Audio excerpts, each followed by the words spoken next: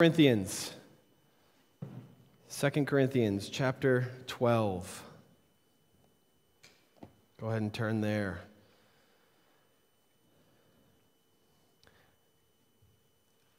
This is what Paul writes in 2 Corinthians chapter 12 verses 7 through 10.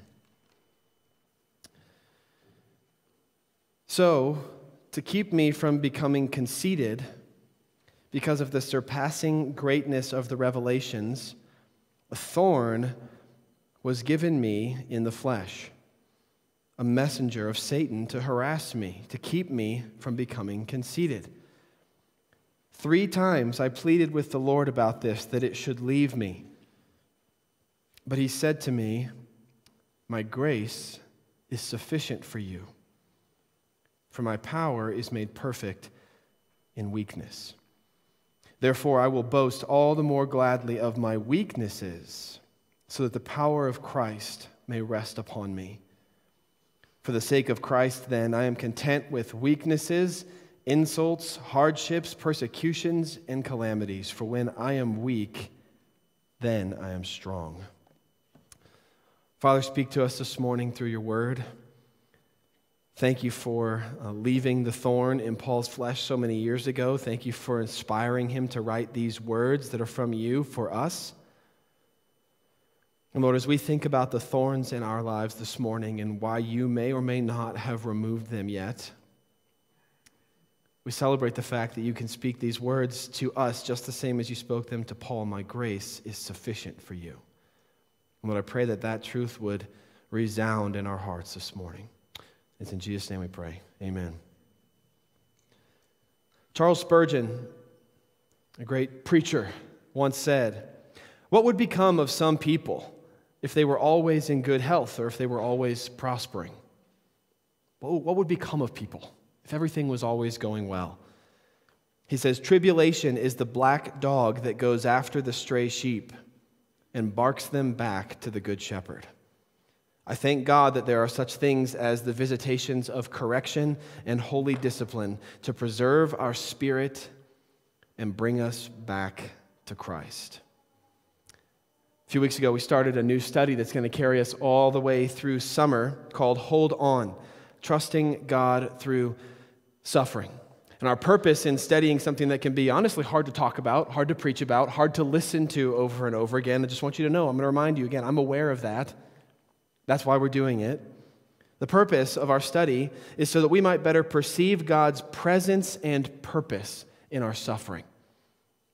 In other words, that we might have a strong theology of suffering, that we might understand the purposes that God has in suffering. The Bible has a lot to say about how God uses suffering in our lives, a lot to say about how God uses suffering in our lives, and it can only benefit us as His people, as His church, to better understand how He draws near and how He uses suffering in our lives. It can only benefit us to think about this, to talk about this, to study what God's Word has to say about this. Because we've all been there, right? Every single person in this room knows the pain and the frustration of prolonged suffering. Suffering that just doesn't seem to have an end. Each one of us has deeply experienced what it's like to have some important part of our lives broken, painful, or difficult. And what it's like to pray and pray and pray and plead with God to remove that suffering from our lives, to relieve that pain, to fix what's broken, to ease that suffering to no avail. You've been there before?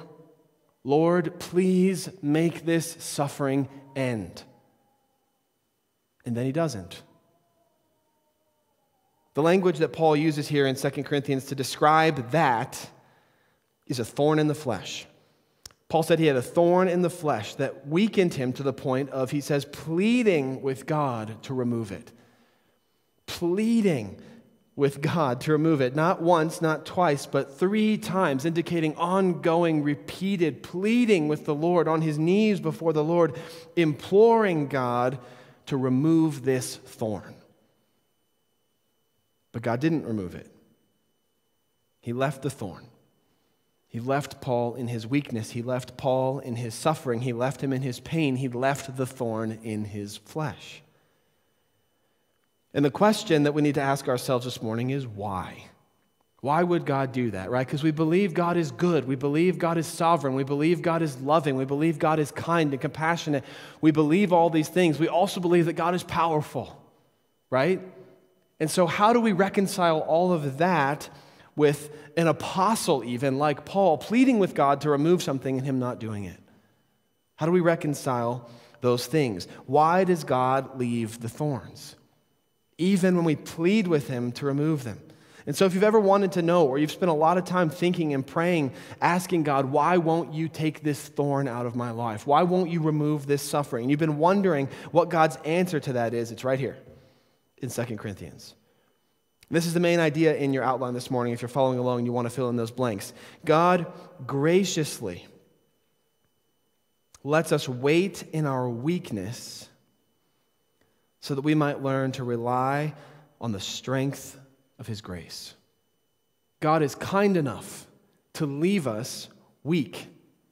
He's kind enough to leave the thorns so that we might learn to rely on the strength and sufficiency of His grace, because only those weakened by thorns can be strengthened by God's grace. And so, as we sit in our suffering, we sit in our praying, praying, and we sit in our pleading with the Lord to remove our thorns, in His grace, in His love, in His mercy, He just might leave them there. Because He's kind. Not because He doesn't care, not because He's distant, not because He's not listening, but in fact because of the opposite of all those things. Because He is listening, because He does care, and because He is kind for this reason, so that we might learn to rely on the strength of his grace. So let's look at 2 Corinthians 12. Let's see how a sovereign king uses even the thorns in our lives to strengthen us. Here's what Paul says, verse 7. Follow along with me in your Bibles. So, to keep me from becoming conceited, because of the surpassing greatness of the revelations, a thorn was given me in the flesh, a messenger of Satan to harass me, to keep me from becoming conceited. Paul says twice that God allowed a thorn in his flesh, or a messenger of Satan, into his life and allowed it to remain in his life in order to, he says it twice, right? At the beginning and the end of the sentence, to keep me from becoming conceited. Paul knew exactly why God left the thorn there.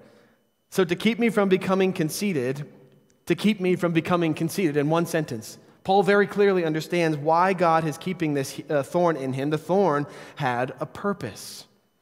And what better imagery than suffering that just sticks in our lives than a thorn, right?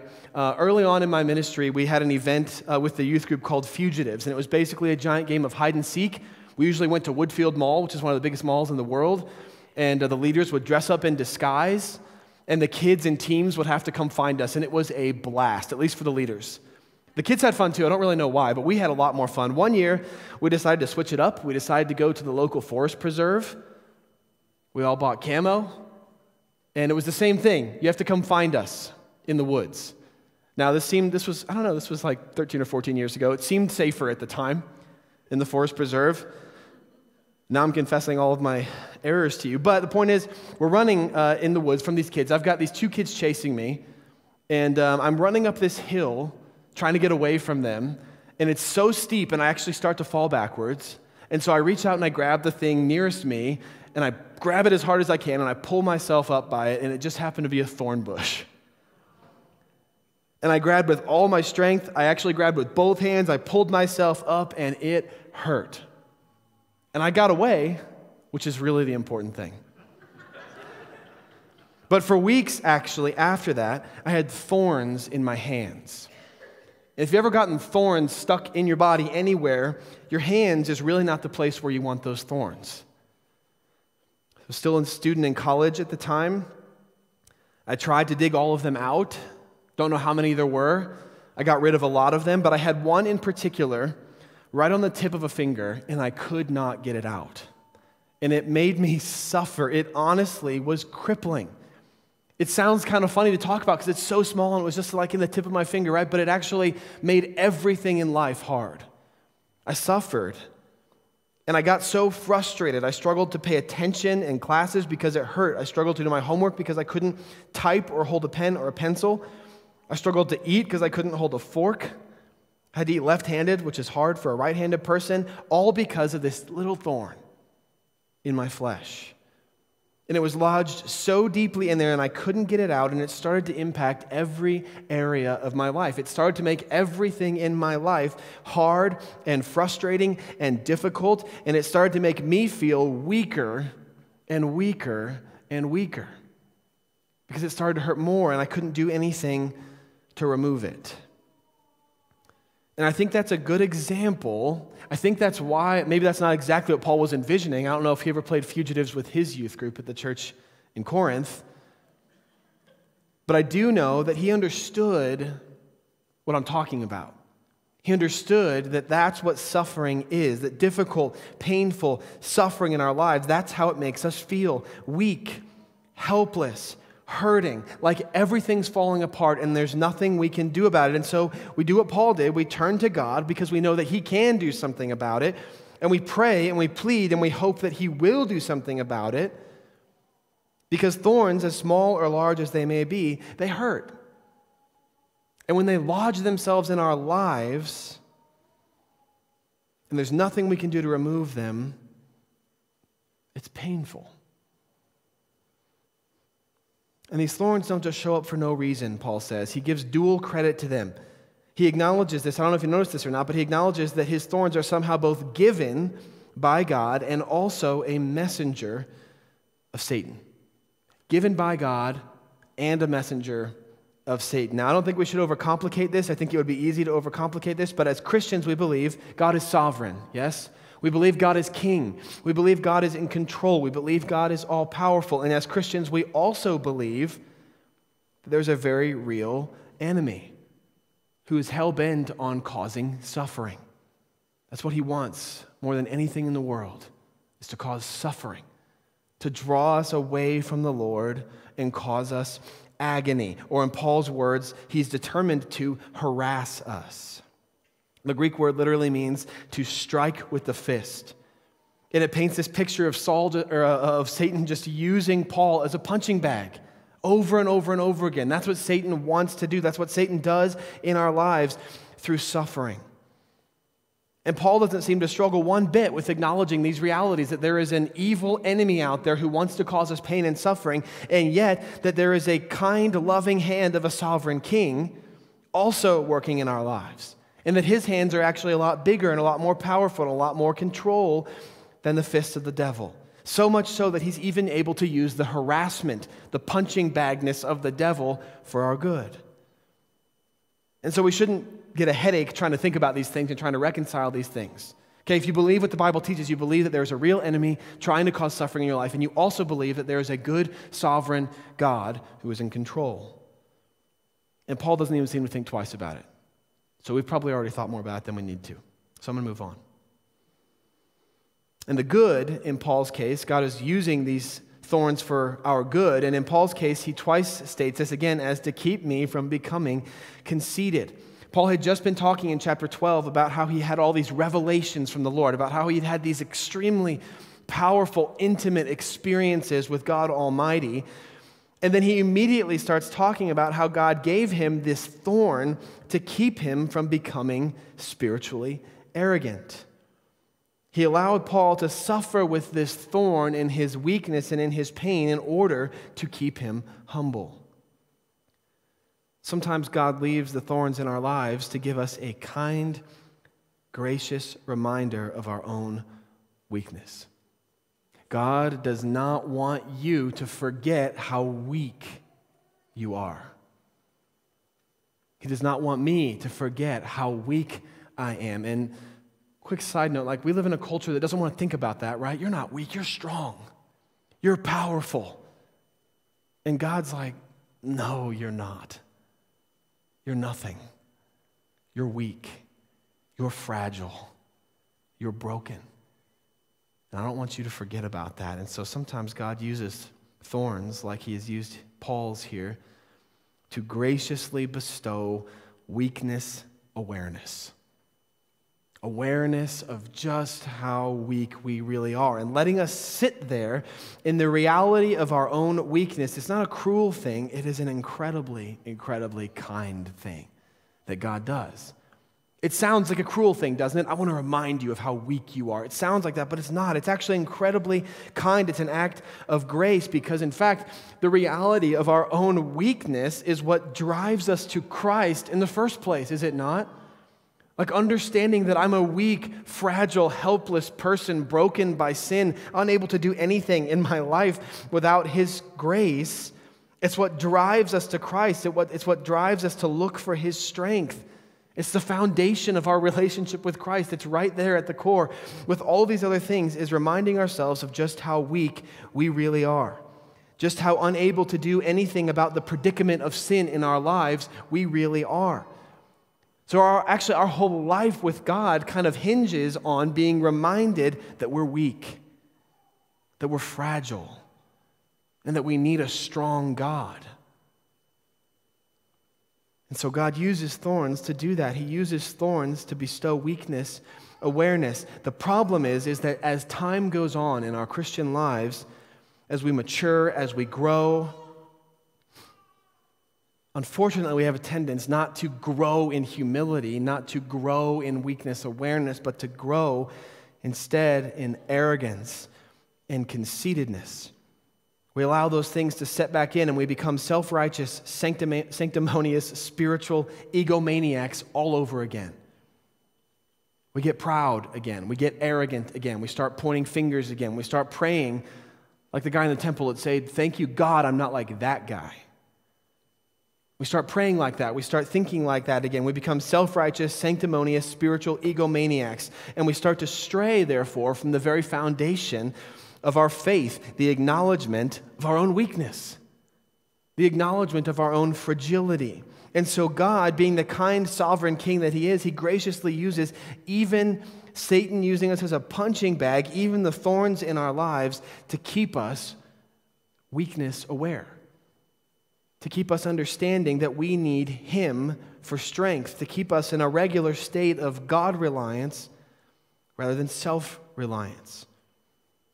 Because a life of weakness, and if you would say you've lived a life of weakness, you understand I'm talking about. A life of weakness is a life spent near the Lord. A life of weakness, a life of thorns is a life spent trusting Him and relying on Him for strength, which is far better than a life without thorns lived in self righteousness. God uses the thorns to keep us aware of our weakness and our need for Him. And yet, in spite of all that being true, uh, the pain of Paul's thorn was so great and so difficult that in verse 8 he says, Three times I pleaded with the Lord about this, that it should leave me. Paul knew God had purpose in his suffering. Paul knew God was using this in these ways, and yet he gets on his knees and he's pleading with the Lord. Again, not once, not twice, but three times that it should leave me. The word pleaded is a strong one. It means begging up close and personal to like approach somebody and look them in the eye and say, please don't do this. Please relieve this suffering. Please take action. Pull this thorn out of my flesh. And by the way, this is a good thing to do. Okay, Paul would want us to do this. The first, second, and third place that we should turn when there's suffering in our lives is the Lord in prayer. The fourth, fifth, sixth, seventh, eighth, infinite number of times we should turn when there's suffering in our lives is the Lord in prayer. It is not wrong to ask God to remove thorns. Just because God is using suffering and God has a purpose in that suffering and He's drawing near to us in that suffering doesn't mean it's wrong to say, Lord, please make it stop. He wants us to come to Him with those requests. And it may be His pleasure to remove them, or it may not. In this life, we are regularly pierced and plagued by varieties of thorns which we are helpless to remove thorns of injustice and inequality, thorns of abuse and mistreatment, thorns of physical, mental, emotional illness, thorns of addictions and burdens, thorns of isolation and loneliness, pain and sorrow, and counseling and treatment and medicine and intercession can only do so much good with these pains. Can they fail to solve the actual problem? And what is a Christian supposed to do when that happens? What am I supposed to do as a Christian? What are you supposed to do as a Christian when nothing seems to be helping? When the thorn is still there and it still hurts and it's still plaguing us and God still hasn't removed it, what then do we do? Because let's be real, when God doesn't remove our thorns, when there's pain in our lives, when there's suffering in our lives, and it doesn't seem like God is doing anything about it, it's our natural reaction to become bitter with God, isn't it? It's our natural reaction to turn hostile toward God, to turn hostile toward others, and to turn pitying of ourselves. That's our natural reaction when we're praying to God and they're suffering. We're saying, Why aren't you doing something about this? Our natural reaction is bitter with God, hostile toward others, and self pitying. That's where we run. It's all too easy to let resentment for the thorns turn into resentment for the God who didn't remove them. It's all too easy to suffer poorly, to not hold on, to not trust God through suffering, and to get tricked into falsely believing that the, the abusive fists that are punching us are God's and not Satan's that God's permissive hand and unwillingness to remove our thorns are an act of cruelty and unfairness rather than an act of kindness. That's where we go. This is one of the main issues. If you ask people in the world who are not Christians, what issue do you have with Christianity? This is going to be at the top of the list. Why does God not do anything about the suffering in my life? Or I was a Christian, I grew up in church, I grew up believing all these things, and then deep suffering entered into my life, and God didn't do anything. So forget Him. I gave up on him. I ran away from him. This is at the top of almost everybody who has run from God, who has ignored God's list. Why doesn't God do anything about the suffering in my life? And when we reach that place in our hearts, as maybe some of us have been before, maybe some of you are right now, this is what God would say to you. Again, if you're wondering, what would God say to me? If I'm just pleading with Him, I've been pleading with Him for so long to remove this suffering, what would God say to me? I've been running from Him. I've been bitter with Him. I've been hostile toward others. I've been pitying of myself. What is God's message for me? This is what it is. He said to me in verse 9 My grace is sufficient for you. My power is made perfect in weakness. That's God's answer to you. Why am I suffering, God? Why are you not doing anything about my suffering? Please remove this suffering from my life. God's answer My grace is all you need. My power is made perfect in your weakness. God graciously lets us wait in our weakness and in our suffering so that we, again we might learn to rely on the strength of his grace on the sufficiency of his grace he lets us experience the insufficiency of ourselves of our power so that we can experience the sufficiency of Him and His grace and His power. He uses thorns to remind us of our weakness so that He can also remind us of His strength and His grace. He says, My power is made perfect in your weakness. Your thorns, your suffering, he says, are the perfect backdrop for my power and my grace. God lets us suffer with thorns to help us learn to cherish His grace. Do you cherish the grace of God? Just this word just popped into my head this week as I'm preparing this message, and I'm thinking about do I cherish? Do I like treasure the love of God? Do I treasure the grace of God? Is it somewhere I turn? Is it something I love so deeply? Do I really cherish His grace? Or do I take it for granted? Do I not think that often about it? Do I spend more time pleading with Him to remove all of these things instead of cherishing His grace? He lets us have these thorns so that we can learn to cherish His grace. By the way, there's nothing more important in life than cherishing the grace of God. There's nothing more important in the church than cherishing the grace of God. And God graciously uses thorns to help us learn to do that. The beauty and the wonder and the power of God's grace are made known and experienced and comprehended and cherished only by hearts that linger in weakness awareness, only by hearts plagued by thorns. And since we can't and won't maintain a heart like that on our own, because we're prideful, because we're arrogant, because we're sinful people, God leaves the thorns. So that we will come to fully, truly grasp in our heart of hearts that the favor and the grace of God truly is sufficient. Truly is all that you need. I remember reading this verse in college and going, yeah, I mean, I know it's sufficient, but don't we need a lot of other things too? You know, and I, I think that's a common thought like, okay, I get it. I understand that God's grace is sufficient, but this thorn really stinks. This suffering in my life is really painful. How is God's grace helping me get this thorn out of my life? Right? And that's, that's the bitterness that sets in. That's the not trusting God that sets in. God is leaving those things there in our lives to help us understand His grace really is all that we need. His grace really is worth cherishing. His kindness to us, His love for us, His, His grace to us in Christ really is worth cherishing. It truly is sufficient.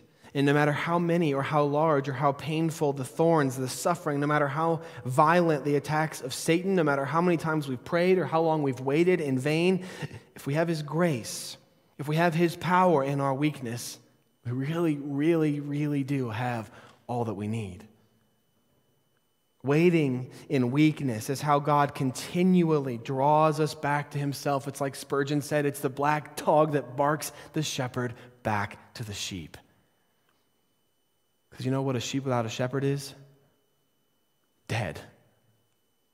Quickly. And God uses the thorns, He uses the suffering to bark us back to Him to help us see how good He is, to help us see what a kind, loving shepherd He is, to help us cherish His grace. We've got to constantly be letting that truth sink deeper and deeper into our hearts. It's like we talked about last week. We've got to be aware of these things before they happen, right? Because if we're not thinking about these things, then when the suffering comes, if we're not thinking about how we ought to be cherishing the grace of God and how God's grace is sufficient, if we're not thinking about all that and then suffering hits, that's not what we're thinking about anymore. We need to be talking about this stuff before the suffering actually hits. And so, as we do that, hopefully we'll learn what Paul did that the power of God works most beautifully and evidently in our lives when we're at our weakest. And that waiting and weakness draws us ever nearer to the Good Shepherd. Weakness draws us nearer to the strong one. And Christ himself is the ultimate example that the power of God is manifested in weakness, that in weakness, his power is made known. And because that's true, Paul says in the second part of verse 9, therefore, just think about this verse for a minute. Therefore, I will boast all the more gladly in my weakness, weaknesses, so that the power of Christ may rest upon me. I don't need my strength. My strength is not sufficient. What I'm not going to do is stand up and pretend I'm strong. What I'm not going to do is stand up and pretend that I've got what it takes to handle this suffering. Instead, Paul says, I'm going to boast all the more gladly of my weaknesses. I have decided, since all of this is true, not to pray a fourth time, and a fifth time, and a sixth time for the removal of my thorn, but instead to celebrate it. I'm actually going to celebrate my thorn. I'm going to rejoice in it all the more. I'm going to lift my head up high and boast about this thorn because when I do that, the sufficiency of God's grace and the strength of God's power will surround me and empower me and shine through me all the more. And that's what I want. Isn't that amazing? This is different like than what you see in other philosophies and other religions of the world. I'm going to celebrate my suffering. I'm going to celebrate that I've got a thorn in my life, that I've got pain in my life that God isn't removing. And in our thorn plagued weakness, that we can lift our hands up high and lift our heads up high and boast in the weakness that plagues us, because when we do that, His power rests on us and shines through us for the world to see. That means that your thorn, the one that you've been pleading with God to remove for however long, the one so deeply lodged in your life that it seems to be ruining everything little by little, you can actually celebrate it. You don't have to keep complaining about it. You don't have to keep whining about it. You don't have to keep turning to the Lord and pleading with Him to remove it. You can actually stop and celebrate it. Now, you're, you're probably thinking, if you're like me, you're thinking, okay, but what does that mean? How am I supposed to do that? That doesn't make any sense. Here's what Paul is saying you can celebrate your weakness, you can boast in that thorn because we are never stronger in Christ than when we are weakest in ourselves. We're never stronger in Christ than when we are weakest in ourselves. And therefore, these immovable thorns of weakness, these great sources of pain and misery that we can't remove, they're actually enabling us to experience the grace and the power of God more fully than we could have if God had removed it the first time we'd asked. God is actually using that pain, He's actually using that suffering to draw you near, to bring you back, to show you His goodness, to show you His kindness, to show you His strength. And that's a good thing. Seeing the goodness of God, seeing the, the faithfulness of God, seeing the grace and the kindness and the compassion of a good shepherd. We're going to experience that. We're going to see that. We're going to feel that. We're going to believe that most deeply when the black dog is barking us back to the shepherd. Because we're never stronger in Christ than when we are weakest in ourselves. The thorns in your life are being utilized by God for your good to bring you back to Him. God, in His sovereign power and His sovereign love, has hijacked the schemes of Satan, and He's actually using them to help you experience His goodness all the more. His kindness on, on grace and compassion all the more. The thorns in our lives are therefore, like Paul is saying, not something to despise or hate or bemoan or be crushed by, but rather the thorns are something to celebrate with gladness with joy all the more. And when we start seeing our thorns of pain and our thorns of suffering as thorns of grace, and we start thanking God for doing that, for using those things, for drawing us near, for keeping us near to His power, keeping us near to His grace through the reminder of our own weakness, only then will the fullness of Christ's power and goodness and compassion really rest upon us, like Paul says. Only then will we truly understand the sufficiency of His grace. And again, if you question that, if you're like, I just don't really know that God's grace is sufficient, I would expect more thorns in your life. God's going to use those to help you understand that His grace really is enough. Even the thorns, even the suffering, God is using for our good. But it's not only for our good, it's not only for our sake that God leaves the thorns, it's also for the sake of Christ. Paul says in verse 10, look at this verse with me. For the sake of Christ, then, not just because God is using these things for my good, but for the sake of Christ, then, I am content with weakness, insults, hardships, persecutions, and calamities. For when I am weak, then I am strong. I will boast in my weakness in my insults, in my hardships, in my persecutions and calamities. I will boast in them gladly, not only because God is using them for my good, but for the sake of Christ and for the sake of his glory in this world. Because when our powerful God works through our known weakness, all the glory belongs to him, right? When you're broken and the world knows you're broken, when you're fragile and you're weak, and the world knows you're fragile and weak, and they see you celebrating those things, and they see you strong, and they see how sufficient God's grace is in your life, He gets all the glory, not you. And all the world will see, be able to see that anything that we do, anything that we are, in spite of our suffering, could only possibly be Christ's power through our weakness. And they'll see how powerful He is, they'll see how good He is. They'll see how wonderful he is. They'll see how worthy of glory he is. We see this pattern all throughout the Bible's teaching on suffering. And it's this that God graciously lets us suffer with our thorns, both for our good and for his glory. And we can therefore boast all the more gladly and be truly content with weaknesses and insults and hardships and persecutions and calamities, thorns of any kind that God allows to remain in our lives because we know that He will get more of the glory that He deserves. through those sufferings. And if you're really a follower of Jesus, that's what you want more than anything in the world. You want the world to know how good He is, you want the world to know how glorious He is.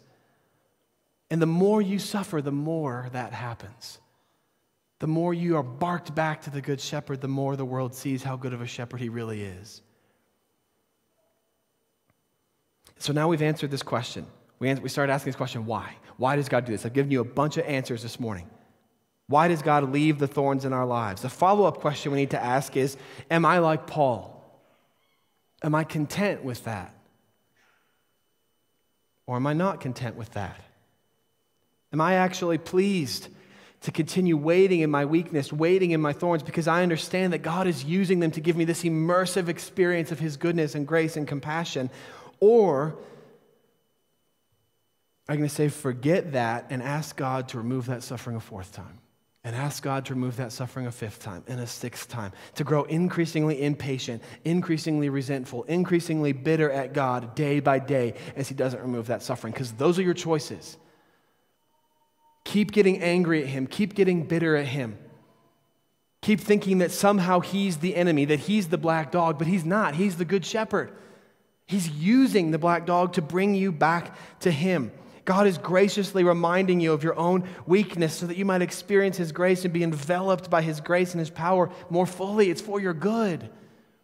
There's nothing better in this life than experiencing the grace of God, than experiencing the compassion and the love of a good shepherd. It's for your good and it's for His glory that He has left that thorn in your life. And so, no matter what ailments plague you, no matter what fears destroy your peace, no matter what thorns continually pierce your life, you can know with certainty that if you are in Christ, we have a beautiful promise of the sufficiency of God's grace. It's everything, it's all that we need. And all this, this, this beautiful reversal that you see right? That this doesn't make sense in a lot of ways, right? You think like, how is God using pain and suffering in my life to bring me to Him? This doesn't make sense. It's this beautiful reversal. It can only be true in our lives because Jesus, our King, endured Satan's ultimate attack. The greatest thorn in existence, death, to pierce him. Not only did he bear a crown of thorns upon his perfect head to symbolize this, but the word for thorn can also mean a stake or a nail, three of which pierced his hands and his feet to the cross.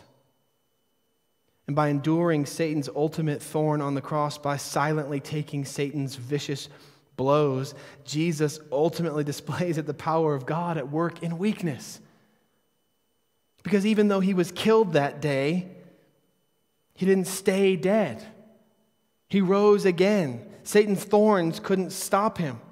The weakness of the cross resulted in the power of the resurrection. And by His grace, we're invited into that.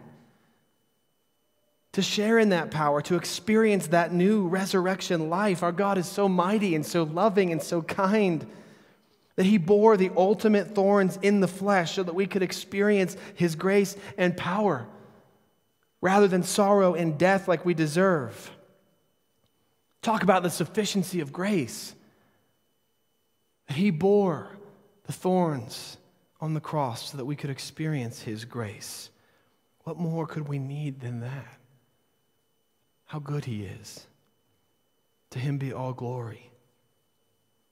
And because He has done that, because that's the God that He is, like Paul, we can be content in our suffering. We can boast in our suffering because it is through them that we experience that sufficiency and the power of God's grace on a level that we could never comprehend otherwise.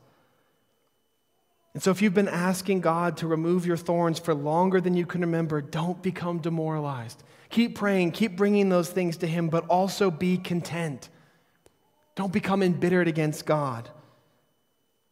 Don't hate Him. Don't run from Him. Don't keep pitying yourself. Be like Paul, be content, be well pleased in your suffering, knowing that God is allowing you to wait with those thorns in, you, in your life to give you something far more incredible than anything you could imagine an experience of the sufficiency of His grace, of His power in your weakness. Thank the Lord for your thorns. Let's pray. Father God, I'm a weak man. Lord, and you know the sufferings. You know the thorns in my life. You know the thorns and the pains in every person in this room's life, Lord. Lord, I just want to take a minute for every time that I failed to do this, for every time we have all failed to do this, Lord, to ask for your forgiveness and to say thank you. Thank you for the wolves out there. Thank you for the black dogs out there that bark us back into your arms. Lord, there's no better place, there's no more wonderful place, there's no safer place than in the arms of the Good Shepherd.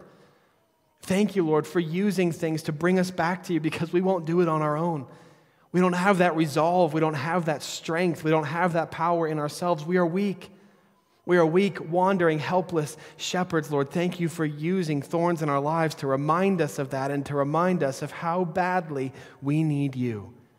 To remind us of how sufficient your grace is, of how strong and how powerful your grace is. Lord, I just want to ask right now that if there is someone in this room who is enduring immense suffering right now, that you would help them experience the sufficiency of your grace.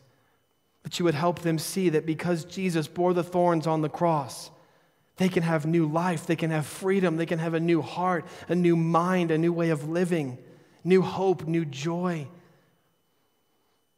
Lord, show that to the people in this room, all of us. Show that especially to those who have never experienced this before, who have never truly believed this before. Help them to see your grace is sufficient, that you're a good shepherd, that the suffering in their lives is not because you are not good, it's because you are good. It's not because you don't care, it's because you do care. Use the pain in our lives, Lord, to draw us to you and to keep us nearby. It's in Jesus' name we pray. Amen.